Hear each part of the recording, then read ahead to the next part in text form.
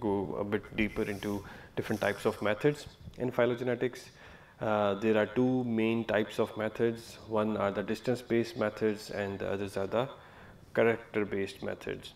And um, so as the name indicates there is a difference between the distance based method and character based method.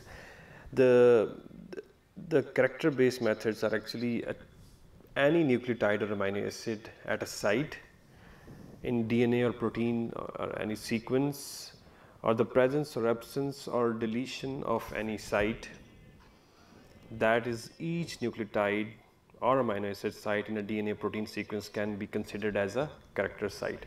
So, here uh, in the first section of the slide you can see that uh, I have uh, put an example of the character based method. So, here you can see that there are some nucleotides or amino acids and each nucleotide or is considered as a site along with another example of any absence or presence of a site. For example, here you can see that there is a A is present at this site, this site, but here is a in red you can see there is there are, there are the deletions.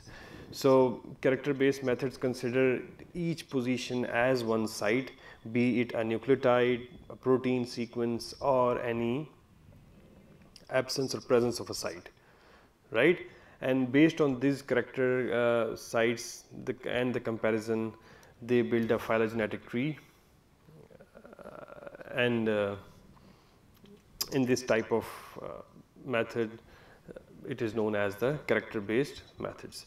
The next is the distance based methods in distance based method actually it's uh, more different uh, compared to the character in the distance based method.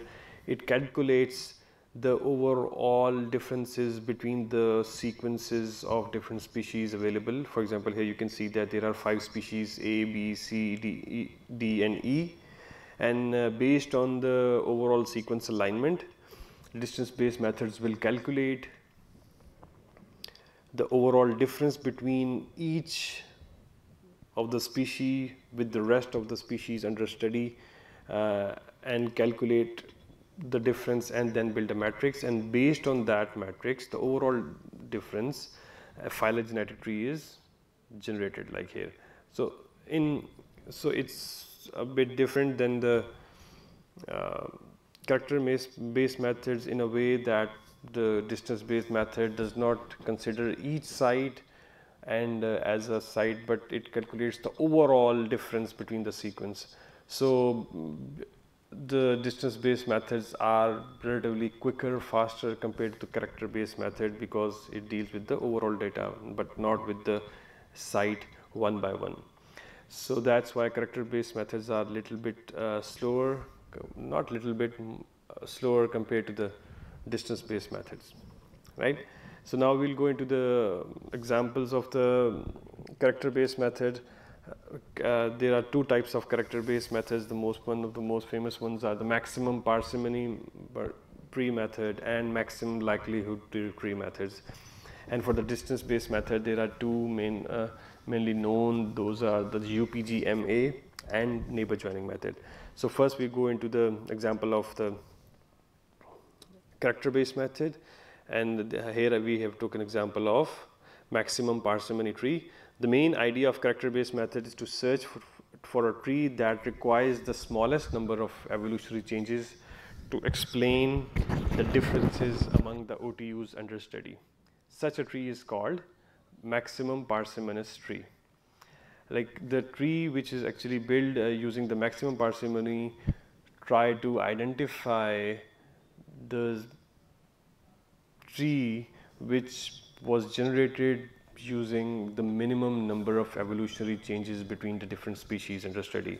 If they are uh, comparing five different species, then from the ancestor to the last uh, uh, most recent species, the maximum parsimony tree will generate a tree which will show minimum number of changes.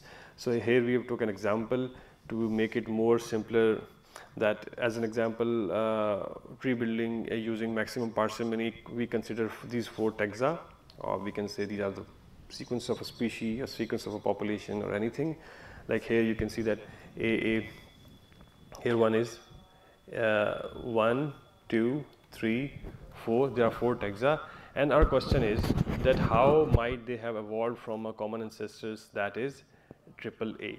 So for that maximum parsimony tree will try to identify the most simplest method uh, of generating the tree. So here you can see that if the most com uh, common ancestor was triple A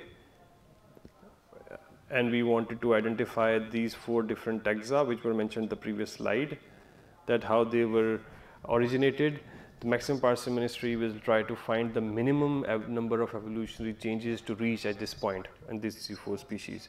So here you can see there are three examples from left to right.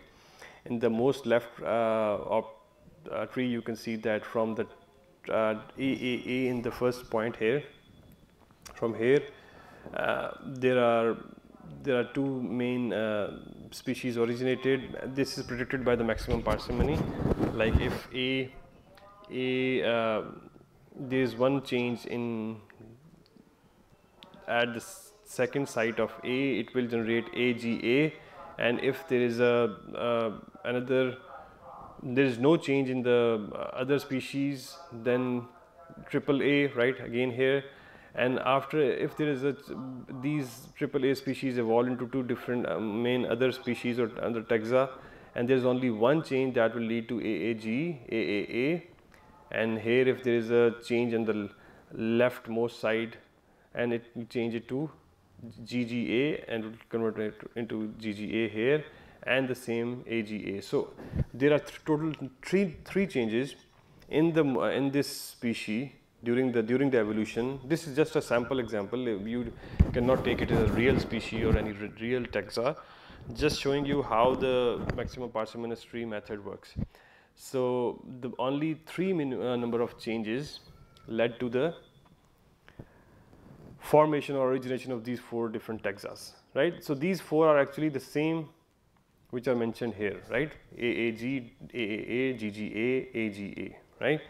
And uh, if we, if uh, similarly, if we look at the, uh, the second example here, you, you can see the same number of taxa originated, but the number of amino acid or uh, nucleotide changes are different. Uh, total number of changes are 4 here.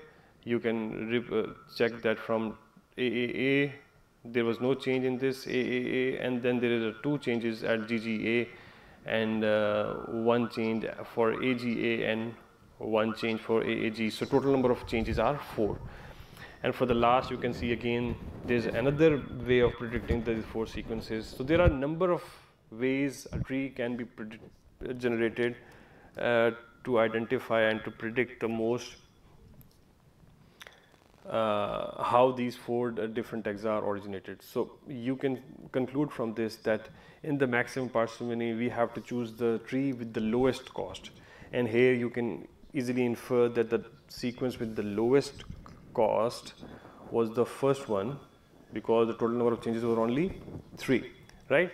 So, this is how maximum parsimony works. This is just a basic sample example. Obviously, if you dig deeper into the different literature and different types of algorithms and different modifications of maximum parsimony, then you will learn more and uh, yeah. So, this is the one uh, example of uh, maximum parsimony method and uh, similarly, but the, um, the distance based method is slightly uh, different and quicker compared to uh, maximum parsimony or character based methods. Here as I explained that building a phylogenetic tree by distance based method is uh, quite different. General principle is first we have to have a number of sequences. For example, we have five species, five sequences, sequence A to B, C, D, E we will just put those all the sequences under any sequence alignment method or and after generating the alignment the phylogenetic uh, tree will calculate a mat first a matrix based on the total number of differences in the sequence alignment one by one. For example the total number of differences between the sequence A versus B, C, D and E then the differences between B and A C, D, E and the rest of the rest of the all the sequences. So, based on the differences it will calculate and build a overall matrix for evolutionary distance and based on that uh, total number of differences the tree will be generated that can be uh, that will be the unrooted tree.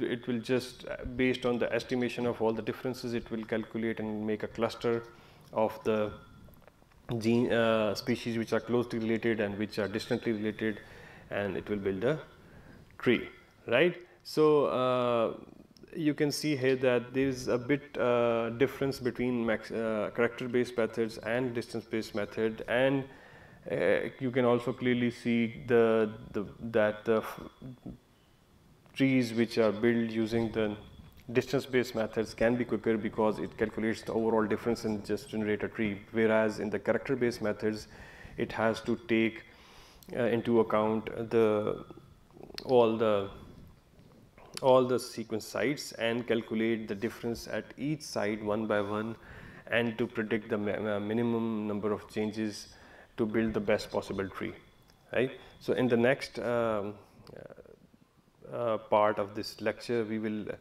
go into a more deeper in, and to see how uh, the distance based methods works and uh, how they calculate the distance between the species, how they calculate estimate the evolutionary distance between the species to exactly estimate, try to ex estimate the best possible phylogenetic tree. Thank you very much. Uh,